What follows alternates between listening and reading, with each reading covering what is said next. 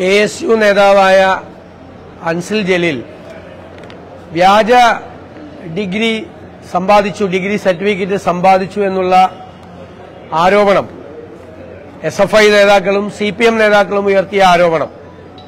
C P എമ്മിന്റെ മുഖപത്രമായ ദേശാഭിമാനി ഉയർത്തിയ ആരോപണം. അതെല്ലാം പച്ച കള്ളമാണ് എന്ന് തെളിഞ്ഞിരിക്കുകയാണ്. പോലീസ് അന്വേഷണം നടത്തി. പോലീസ് കോടതിയിൽ കൊടുത്ത റിപ്പോർട്ട് ഇത് വ്യാജരേഖ ചമച്ചതാണെന്നാണ്.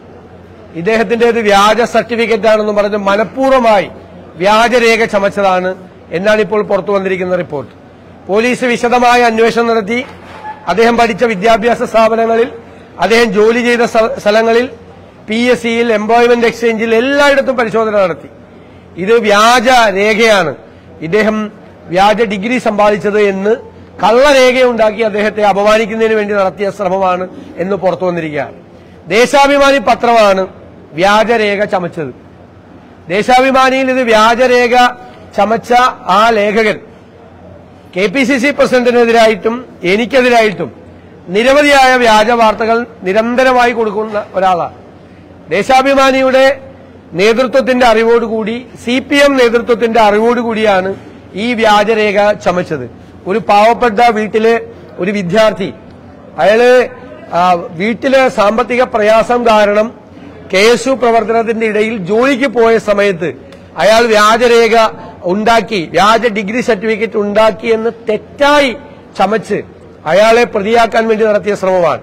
എസ് എഫ് ഐ സംസ്ഥാന സെക്രട്ടറി ഉൾപ്പെടെയുള്ള നിരവധി എസ് എഫ് ഐ നേതാക്കന്മാർ പരീക്ഷ എഴുതാതെ പാസ്സായെന്നും വ്യാജ ഡിഗ്രി സർട്ടിഫിക്കറ്റ് ചമച്ചുവെന്നും ആരോപണം വന്നപ്പോ കെ എസ് യുക്കാരും ഇതുപോലെയാണ് എന്ന് വരുത്തി തീർക്കാൻ വേണ്ടി മനഃപൂർവമായി നടത്തിയ ശ്രമമാണ്.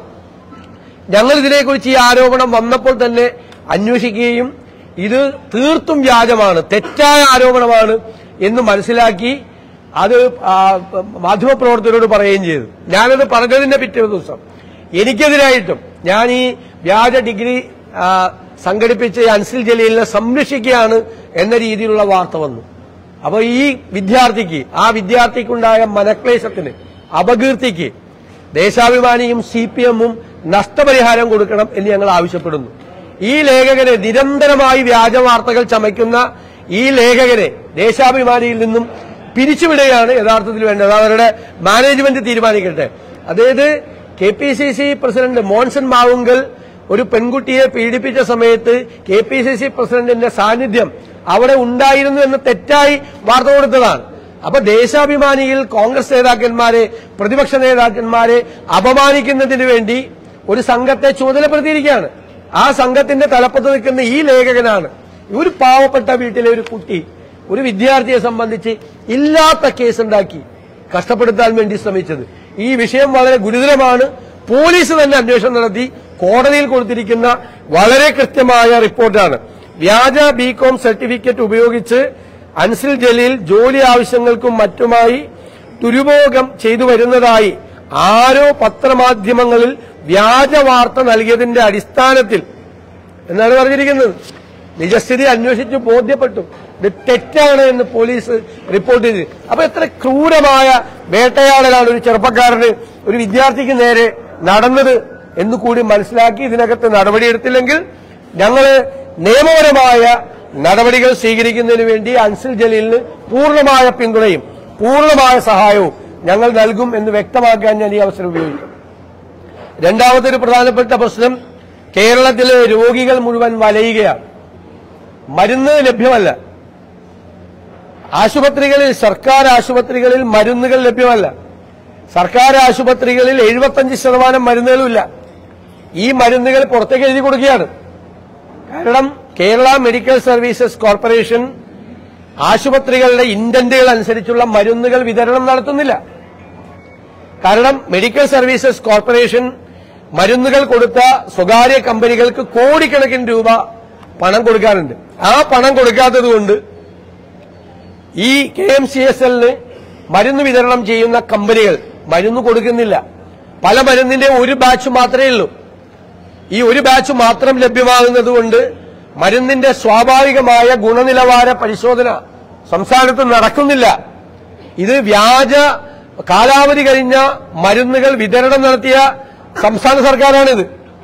മഹാമാരിയുടെ കാലത്ത് കാലാവധി കഴിഞ്ഞ കത്തിച്ചു കളയേണ്ട മരുന്നുകൾ കാലാവധി കഴിഞ്ഞ മരുന്നുകൾ വിതരണം നടത്തിയെന്ന് സി ആൻഡ് ജി റിപ്പോർട്ടിലുള്ള സർക്കാരും മെഡിക്കൽ സർവീസസ് കോർപ്പറേഷനുമാണ് കേരളത്തിലുള്ളത്. അപ്പോ ഗുണനിലവാര പരിശോധന പോലും ഇല്ലാതെയാണ് ഇപ്പൊ മരുന്ന് വിതരണം നടത്തുന്നത് കാരണം ചെറിയ ബാച്ചാണ് വരുന്നത്. മരുന്ന് ആവശ്യത്തിനില്ല. മന്ത്രി പറഞ്ഞത് എല്ലായിടത്തും മരുന്നുണ്ടെന്നാണ് ആശുപത്രികളിൽ എഴുപത്തഞ്ച് ശതമാനം മരുന്നില്ല. കാരണം മരുന്ന് വിതരണം നടത്താൻ പറ്റുന്നില്ല. സപ്ലൈകോയ്ക്ക് പറ്റിയത് തന്നെ മെഡിക്കൽ സർവീസസ് കോർപ്പറേഷൻ പറ്റിയതാണ്. സപ്ലൈകോയ്ക്ക് പറ്റിയത് എന്താ? വിതരണക്കാർക്ക് പണം കൊടുക്കാൻ പൈസ ഇല്ലാത്തതുകൊണ്ട് കഴിഞ്ഞ ആറു മാസമായി ആയിരത്തഞ്ഞൂറ് കോടി രൂപ വിതരണക്കാർക്ക് കൊടുക്കാണ്ടാണ് ബാവേലി സ്റ്റോറിൽ ഈ സബ്സിഡി ഐറ്റംസ് ഒന്നും ഇല്ലാത്തത്. സെയിം പ്രശ്നമാണ് മെഡിക്കൽ സർവീസസ് കോർപ്പറേഷൻ. പണം കൊടുക്കാനില്ല മരുന്നിന്റെ. പണത്തിന്റെ കുടിശ്ശിക കോടികളായി. അതുകൊണ്ട് മരുന്ന് വിതരണം പോലും സ്തംഭിപ്പിക്കുന്ന ഗുരുതരമായ അവസ്ഥയിലേക്ക് വരികയാണ്. മുഖ്യമന്ത്രിയും മന്ത്രിമാരും ഇതൊന്നും ശ്രദ്ധിക്കാതെ നടക്കുകയാണ് മുഖ്യമന്ത്രി സ്തുതിപാഠകരുടെ ഇടയിലാണ്. സ്തുതിപാ- സ്തുതിപാഠകര വൃന്ദത്തിന്റെ ഇടയിലാണ് മുഖ്യമന്ത്രി. അപ്പൊ മുഖ്യമന്ത്രി സൂര്യനാണ് കഴുകനാണ് കാരണഭൂതനാണ് കുന്തമാണ് കുടച്ചക്കരമാണെന്നൊക്കെ മന്ത്രിമാരെ തന്നെ പറയുകയാണ്. ദൈവത്തിന്റെ വരദാനമാണ്. മുഖ്യമന്ത്രി അത് കേട്ട് മയങ്ങിയിരിക്കുകയാണ്. ഭരിക്കാൻ മറന്നുപോയി. എല്ലാ ഈ സ്തുതിപാഠകരെ പ്രോത്സാഹിപ്പിക്കുന്ന എല്ലാ ഭരണാധികാരികൾക്കും സംഭവിക്കുന്നതാണ് പിണറായി വിജയന് സംഭവിക്കുന്നത്. ചരിത്രത്തിൽ നിന്ന് നമുക്ക് പഠിക്കാം. സ്തുതിപാഠകരുടെ ഇടയിൽപ്പെട്ടുപോയ എല്ലാ ഭരണാധികാരികൾക്കും ഉണ്ടായ ദുരന്തമാണ്. അവർ ഭരിച്ച സംസ്ഥാനത്തിനും ഉണ്ടായിക്കൊണ്ടിരിക്കുന്നത്. അവർ ഭരിക്കുന്ന ഈ കേരളത്തിനും ഉണ്ടായിക്കൊണ്ടിരിക്കുന്നത്. ഇത് കേട്ട് ആസ്വദിക്കുകയാണ്. പണ്ട് പി ജയരാജനെതിരായിട്ട് ആരോ ഒരു പാട്ടിറക്കിയെന്ന് പറഞ്ഞ് അത് വ്യക്തിപൂജയാണ് എന്ന് ആക്ഷേപം ഉന്നയിച്ച പാർട്ടിയാണ്. ആ പാർട്ടിയുടെ സംസ്ഥാന സെക്രട്ടറി വന്നിട്ട് പറയാണ് മുഖ്യമന്ത്രി സൂര്യനാണ് കരിഞ്ഞു പോകുന്നത് അപ്പൊ അടുത്തേക്ക് പോയാൽ കരിഞ്ഞു പോകും.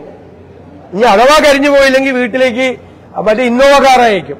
അമ്പത്തൊന്ന് വെട്ടുവെട്ടി കരിയിച്ച് കളയും. ദൈവ ഒരാൾ പറയുന്നു സൂര്യനാണ് വേറൊരാൾ പറയുന്നു കഴുകനാണ്. വേറെ ആൾ പറയുന്നു കാരണഭൂതനാണ്. വേറൊരാൾ പറയുന്നു ദൈവത്തിന്റെ വരദാനമാണ്. ആരാണ് ശരിക്കും പിണറായി വിജയൻ? ആരാണ് ശരിക്കും പിണറായി വിജയൻ? അതേ ഏത് ലോകത്താണുള്ളത്? നാട്ടിലെ സ്ഥിതി ഇതാണ്. K S R T C കൂട്ടാറായി. വൈദ്യുതി ബോർഡിന് നാൽപ്പതിനായിരം കോടി കടമായി. മാവേലി സ്റ്റോറിൽ സാധനയില്ല. ആശുപത്രികളിൽ മരുന്നില്ല. സാമൂഹ്യ സുരക്ഷാ പെൻഷൻ കൊടുത്തിട്ട് അഞ്ചു മാസമായി ജീവനക്കാർക്കും പെൻഷൻകാർക്കും കൊടുക്കാനുള്ളത് നാൽപ്പതിനായിരം. കോടിയാണ്. കരാറുകാർക്ക് കൊടുക്കുന്ന ഉള്ളത് പന്തിരായിരം കോടിയാണ്. പട്ടികജാതിക്കാർക്ക് മൂന്ന് കൊല്ലമായിട്ട് ഒരാനുകൂല്യം കൊടുത്തിട്ടില്ല. സംസ്ഥാനത്തെ ഭവന നിർമ്മാണ പദ്ധതിയായ ലൈഫ് മിഷൻ സ്തംഭിച്ചു. എല്ലാ സാമൂഹ്യ സുരക്ഷാ പരിപാടികളും വികസന പരിപാടികളും പൂർണമായി സ്തംഭിച്ചു. അപ്പോഴാണ് ഈ ഈ സ്തുതിപാഠക സംഘം ഇറങ്ങിയിട്ട് ഇപ്പൊ ഒരു പുതിയ അവതാരമാണ് കേരളത്തിൽ അവതരിച്ചിരിക്കുന്നത് എന്ന് വരുത്തി തീർക്കുന്ന ഏറ്റവും ദയനീയമായ ഒരു സ്ഥിതിയിലേക്ക് സി പി എം എന്ന് പറയുന്ന പാർട്ടി എത്രമാത്രം ജീർണിച്ചിരിക്കുന്നു എന്നതിന്റെ ഏറ്റവും അവസാനത്തെ ഉദാഹരണമാണ് പിണറായിയെ സ്തുതിച്ചുകൊണ്ടിറങ്ങിയ അവസാനത്തെ വീഡിയോ ഗാനം. കേരളത്തെക്കുറിച്ച് ഇങ്ങനെയാണ് സി പി എം ധരിച്ചു വച്ചിരിക്കുന്നത്. പ്രബുദ്ധരായ കേരളത്തിലെ ജനങ്ങളുടെ ഇടയിലേക്ക് ഇങ്ങനെയുള്ള വിശേഷണങ്ങൾ കൊണ്ട്. അതാണ് ഇത് തന്നെയാണ് കേന്ദ്രത്തിൽ മോഡിയെക്കുറിച്ച് അവർ ചെയ്യുന്നത് ബി ചെയ്യുന്നത്. അതിന്റെ വേറൊരു ഫോർമാറ്റിലാണ് കേരളത്തിൽ പിണറായി വിജയനെ അവതരിപ്പിക്കാൻ ശ്രമിക്കുന്നത്.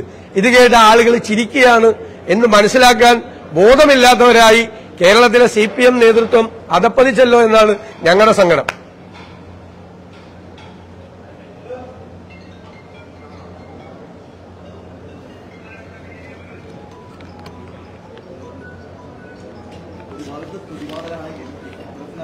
ഉണ്ടാകുന്ന പ്രശ്നം പറയുന്നത് പരസ്പരം നേതാക്കൾ തമ്മിലുള്ള അഭിപ്രായ വ്യത്യാസം പലപ്പോഴും പരിഹരിക്കാനുള്ള ഒരു ഒരു അഭിപ്രായ വ്യത്യാസമില്ല കോൺഗ്രസിന്റെ അകത്ത്.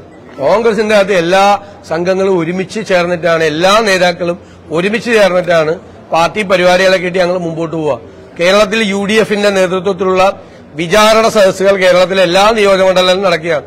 മുഴുവൻ നേതാക്കന്മാരും മുഴുവൻ യു ഡി എഫ് നേതാക്കന്മാരും അതിൽ പങ്കെടുക്കുന്നുണ്ട്. K P C C president ചികിത്സാർത്ഥം താൽക്കാലികമായി അദ്ദേഹം അമേരിക്കയിലേക്ക് പോയിരിക്കുകയാണ്.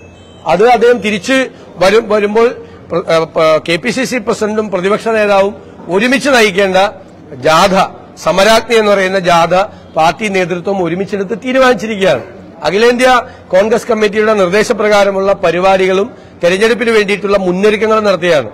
ഞാൻ തന്നെ പതിനാല് ജില്ലകളിലും സന്ദർശനം നടത്തി പാർലമെന്റ് തെരഞ്ഞെടുപ്പിനുള്ള മുന്നൊരുക്കവും ഞാനും കെ പി സി സി പ്രസിഡന്റും ചേർന്ന് സംയുക്തമായി നടത്തുന്ന ജാഥയുടെ മുന്നൊരുക്കങ്ങളും നടത്താനുള്ള പരിപാടി ഈ ഈ മാസം എട്ടാം തീയതി മുതൽ ആരംഭിക്കുകയാണ്. എല്ലാം വളരെ നന്നായിട്ട് പോകണം ഒരു പ്രശ്നമില്ല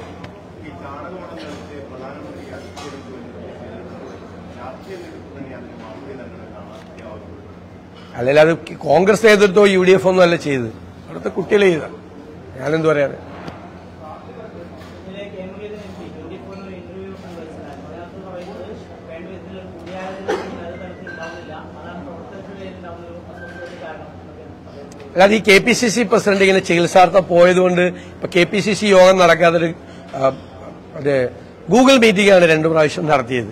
അദ്ദേഹം ആ തിരിച്ചു വന്നു കഴിഞ്ഞാൽ മീറ്റിംഗ് നടക്കും. യു ഡി എഫ് യോഗം. എല്ലാ മാസവും യു ഡി എഫ് യോഗം നടക്കാറുണ്ട്. ഒരു കാലത്തില്ല. ഏറ്റവും കൂടുതൽ യു ഡി എഫ് യോഗങ്ങൾ നടന്നത് ഈ ഈ ടൈമിലാണ്. ഞാൻ യു ഡി എഫ് ചെയർമാനായി വന്നതിന് ശേഷമാണ് ചരിത്രത്തിൽ ഏറ്റവും കൂടുതൽ യു ഡി എഫ് യോഗങ്ങൾ നടന്നത്. എല്ലാ നേതാക്കന്മാരെയും വിളിച്ചവരുമായിട്ട് ഞങ്ങൾ കൂടിയാലോചന നടത്താറുണ്ട്. വീണ്ടും പത്താം തീയതി യോഗമുണ്ട്. ഈ ഒരു മാസം മാത്രം നടന്നില്ല കാരണം എല്ലായിടത്തും വിചാരണ സദസ്സ് നടക്കുന്നുണ്ട്. അല്ലാതെ എല്ലാ മാസവും യു ഡി എഫ് യോഗങ്ങൾ കൃത്യമായി നടത്താറുണ്ട്. K P C C president തിരിച്ചു വന്നാൽ കെ പി സി സി യോഗങ്ങൾ നടക്കാം. അതിലൊന്നും അതെ കൂടിയാലോചന നടക്കുന്നുണ്ട്. ഇനി കൂടുതൽ വേണമെങ്കിൽ കൂടുതൽ നടത്തും.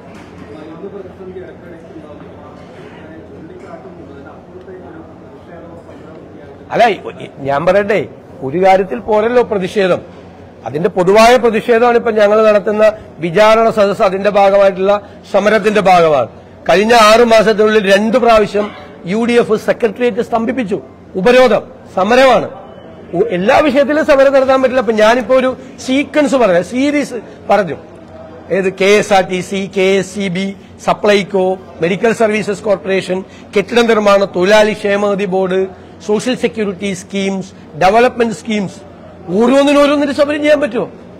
എല്ലാം കൂടി ഒരുമിച്ചാണ് ഈ ഗവൺമെന്റിനെ വിചാരണ ചെയ്യുന്ന ജനങ്ങളുടെ കോടതിയിൽ വിചാരണ ചെയ്യുന്ന വിചാരണ സദസ് നടക്കുന്നത്. അതിനുശേഷം എല്ലാ യു ഡി എഫ് ഘടകകക്ഷികളുടെയും നേതൃത്വത്തിലുള്ള പരിപാടികൾ നടക്കുകയാണ്. ഇപ്പൊ യൂത്ത് ലീഗിന്റെ യൂത്ത് മാർച്ച് നടന്നു. യൂത്ത് കോൺഗ്രസിന്റെ പ്രതിഷേധങ്ങൾ നടന്നു. വിദ്യാർത്ഥി പ്രശ്നങ്ങൾ ഉന്നയിച്ചുകൊണ്ട് കെ നേതൃത്വത്തിൽ പരിപാടി നടന്നു. ഇന്ന് വണ്ടിപ്പെരിയാറിൽ മകളെ മാപ്പ് എന്നുള്ള പേരിൽ നാളെ വലിയ പരിപാടി കെ പി സി സിയുടെ നേതൃത്വത്തിൽ നടക്കുകയാണ്. കെ പി സി സിയുടെ നേതൃത്വത്തിൽ D G P office march നടത്തി. യൂത്ത് കോൺഗ്രസ് നൂറുകണക്കിന് പേര് ജയിലിലാണ് ഇപ്പോഴും. നിരവധി പേര് ആശുപത്രികളിലാണ്. മൂന്ന് കുട്ടികൾക്കാണ് ഞങ്ങൾ സർജറി നടത്തിയത് മേജർ സർജറി. കാൽപാദം വരെ അറ്റുപോയി. ഈ ഇത്രയും വലിയ സമരം ഏത് കാലത്താണ് നടന്നിട്ടുള്ളത്? ഇത്രയും അഗ്രസീവായിട്ടുള്ള സമരം നടന്നിട്ടുള്ളത്? ഏത് കാലത്താണ്? എല്ലാ സംഘടനകളും സമരത്തിലാണ്. മഹിളാ കോൺഗ്രസ് ഉൾപ്പെടെ. വനിതാ സംഘടനകൾ ഉൾപ്പെടെ. യു ഡി എഫിന്റെ വിവിധ കക്ഷികൾ ഉൾപ്പെടെ സമരത്തിലാണ്. ഇപ്പൊ ഒരു പുതിയ ആ കാസ്പിന്റെ ഞങ്ങളിത് വിചാരണ സദസ്സിലേക്ക് ഉന്നയിക്കുന്ന പ്രധാനപ്പെട്ട അതായത് ഇപ്പോ സ്വകാര്യ ആശുപത്രികൾ ചേർന്ന് കാസ്പിന്റെ കാർഡ് സ്വീകരിക്കണ്ടെന്ന് പറഞ്ഞിരിക്കുക കോടിക്കണക്കിന് രൂപയാണ് സ്വകാര്യ ആശുപത്രികൾക്കും സർക്കാർ ആശുപത്രികൾക്കും കൊടുക്കാനുള്ളത്. ജീവനക്കാർക്ക് വേണ്ടി സർക്കാർ ആവിഷ്കരിച്ച മെഡിസപ്പ് ഇൻഷുറൻസ് സ്കീം തകർന്നുപോയി. ഇപ്പൊ എല്ലാ ആശുപത്രികളിലും പിന്മാറുകയാണ് കാസ്പോ എന്റെ കാർഡ് വായിച്ചെന്നാൽ ഒരു ആശുപത്രിയിലും ഈ കാർഡ് സ്വീകരിക്കുന്നില്ല. നേരത്തെ പറഞ്ഞാൽ മാവേലി സ്റ്റോറിൽ സാധനമില്ല. ഒരു കൊല്ലത്തിനുള്ളിൽ രണ്ട് പ്രാവശ്യം വൈദ്യുതി ചാർജ് കൂട്ടി ബസ് സർവീസുകൾ റദ്ദാക്കുന്നു. കേരളം കണ്ട ഏറ്റവും പരിതാപകരമായ ഒരു അവസ്ഥയിലേക്ക് ഈ സംസ്ഥാനം കൂപ്പുകൂത്തുകയാണ്. അപ്പൊ അതിന്റെ സമരങ്ങളാണ് നടക്കുന്നത് സാമ്പത്തിക പ്രതിസന്ധിയാണ് അല്ലെങ്കിൽ കാര്യക്ഷമമായ ഈ വിനിയോഗം ഫലപ്രദമാവാതെ പോകുന്നതാണ് കാരണം അല്ല ഇത് ഞങ്ങൾ മുൻകൂട്ടി പറഞ്ഞല്ലേ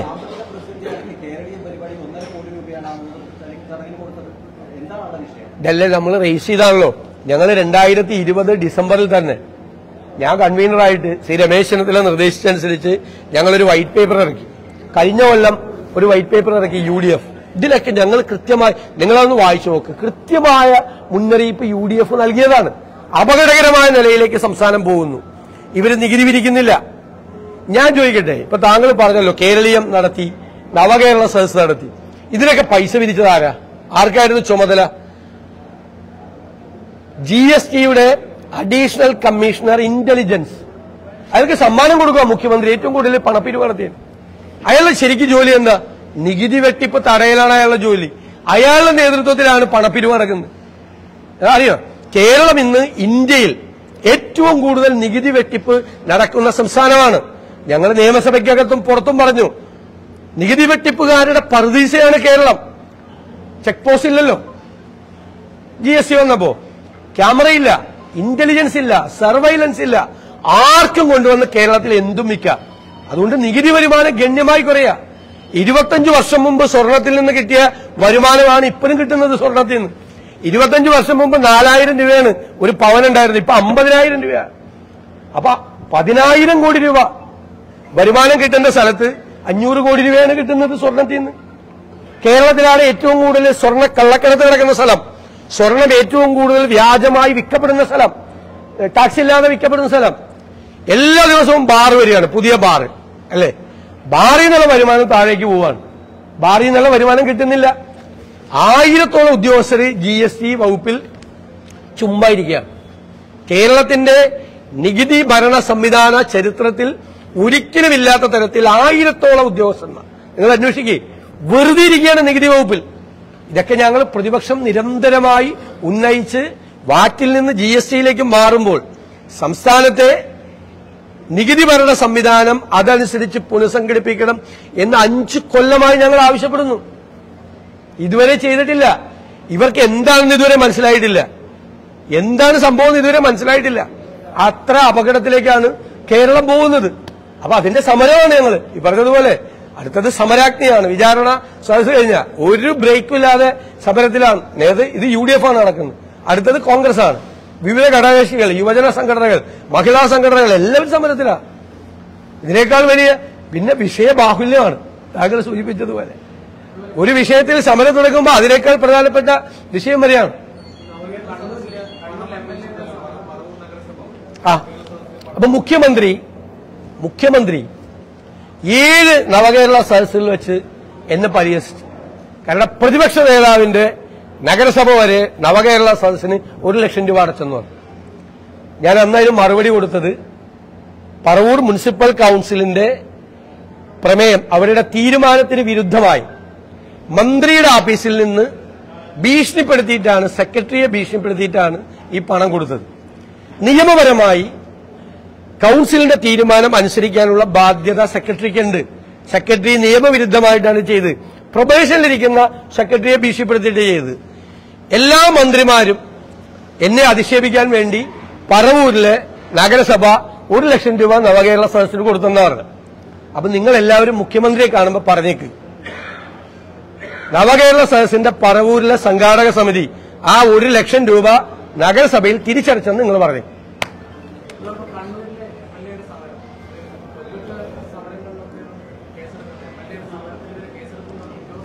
നിങ്ങൾ യൂണിവേഴ്സിറ്റിയിൽ സമരം നടന്നു. എസ് എഫ് ഐ സംസ്ഥാന സെക്രട്ടറി ബാരിക്കേഡിന്റെ മുകളിൽ കയറിയിരുന്നു. ഒരു പോലീസ് ഉദ്യോഗസ്ഥരോട് പോയി കക്കൂസ് കയറിയിടാന്ന് പറഞ്ഞു. അത് കണ്ട് അതിനേക്കാൾ ഉന്നത ഉദ്യോഗസ്ഥൻ ചിരിച്ചുകൊണ്ട് നിന്നു അവനെ തോളിലിട്ട് ലാളിച്ച് മോനെ കുട്ട എന്ന് പറഞ്ഞ് അതാണ് ഞാൻ പറഞ്ഞത് ഒരു പാൽക്കുപ്പിയും കൂടി കൊടുക്കാൻ പറഞ്ഞത്. അവനെ സ്നേഹിച്ചു കൊണ്ടുപോയി വണ്ടിയിൽ കയറ്റി. ഇല്ലേ? കണ്ണൂരിൽ എം എൽ എ പോലീസിനെ പരസ്യമായിട്ട് വെല്ലുവിളിച്ചു. ഉണ്ടല്ലോ? കല്യാശ്ശേരിയിലെ ഏരിയ കമ്മിറ്റി സെക്രട്ടറി. എന്നിട്ട് പറഞ്ഞു പോലീസിന്റെ പിടിപ്പുകേടാണ് കല്യാശ്ശേരിയിൽ അക്രമം ഉണ്ടാകാനുള്ള കാരണം എന്ന് പറഞ്ഞു. നിരന്തരമായി എം വി ജയരാജൻ കണ്ണൂർ ജില്ലാ സെക്രട്ടറി പോലീസിനെതിരായി ആക്ഷേപം ഉന്നയിച്ചു. ആലപ്പുഴയിൽ തിരുവനന്തപുരത്ത് എല്ലാ പാർട്ടി നേതാക്കൾ പോലീസുമായി സംഘർഷത്തിലാണ് എല്ലായിടത്തും. പോലീസിനെ നോക്കുകുത്തിയാക്കി മാറ്റി യഥാർത്ഥത്തിൽ. ഈ ഒരു പോലീസ് ഉദ്യോഗസ്ഥരോട് പോയി കക്കൂസ് കയറുക എന്ന് പറയുമ്പോൾ എസ് എഫ് ഐ നേതാവ് പറയുമ്പോൾ അവരെ ശാസിക്കാൻ ഈ ആഭ്യന്തര വകുപ്പിന്റെ ചുമതലയുള്ള ഈ മുഖ്യമന്ത്രി എവിടെ പോയിരിക്കുകയാണ്? പോലീസ് സേനയ്ക്ക് മുഴുവൻ അപമാനമല്ലേ? പോലീസിന്റെ മുറയിലല്ലേ പോയത്? എം എൽ എ വിരട്ടുന്നു പോലീസിനെ. എസ് എഫ് ഐ നേതാക്കന്മാർ വിരട്ടുന്നു. ഡിവൈഎഫ്ഐ നേതാക്കന്മാർ വിരട്ടുന്നു. പോലീസ് സ്റ്റേഷനിൽ കയറിയ ആളെ തല്ലുന്നു. പോലീസ് പ്രിവന്റീവ് ഡീറ്റെയിൽസിൽ എടുത്ത ആളുകളെ പോലീസ് സ്റ്റേഷന്റെ അകത്ത് തല്ലുന്നു. ചാലക്കുടിയിൽ പോലീസ് ജീപ്പിന്റെ മീതെ കയറിയെന്ന് പോലീസ് ജീപ്പ് തല്ലിപ്പൊളിക്കുന്നു എസ് എഫ് ഐ നേതാവ് പറയുന്നു ചാലക്കുടിയിലെ എസ് ഐയെ പേപ്പറ്റിയെ പോലെ റോട്ടിലിട്ട് തല്ലിക്കൊല്ലുന്നു. എന്തിനാ മുഖ്യമന്ത്രി ഈ ആഭ്യന്തര വകുപ്പ് കയ്യിൽ വെച്ചുകൊണ്ടിരിക്കുന്നത് എന്തിനാ ഇങ്ങനെ ഭരിക്കുന്നത് സ്വന്തം പാർട്ടിക്കാരെ സ്വന്തം പോലീസിനെ ഇങ്ങനെ അപമാനിക്കുന്നത് കണ്ട് അങ്ങേക്ക് നാണമാവുന്നില്ലേ എന്നാണ് എന്റെ ചോദ്യം.